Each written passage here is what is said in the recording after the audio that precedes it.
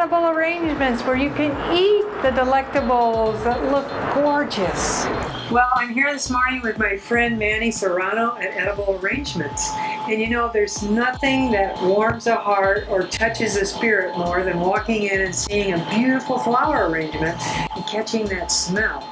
But you know, Manny has taken that to a different level with amazing cuts and designs of fruit in a magnificent way. And I have had the pleasure by friends of mine that have surprised me with one of these arrangements recently. And I have to ask you, Manny, how do you get your fruit to taste like it's just off a tree instead of off the shelf in the grocery store? First, I'd like to say, Sharon, thank you so much for those uh, wonderful comments. You know, they're beautiful. And I think uh, I'll have to agree with you. We do have some of those wow factors in our bouquet.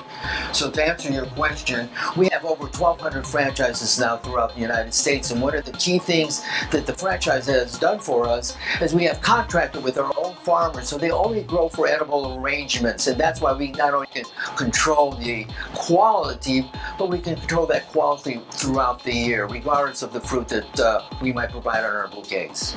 That's magnificent.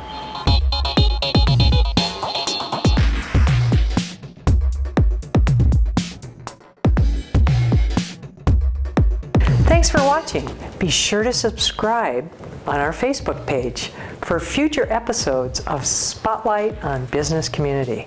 And we'd love your feedback on businesses that you would like to see us spotlight in the future.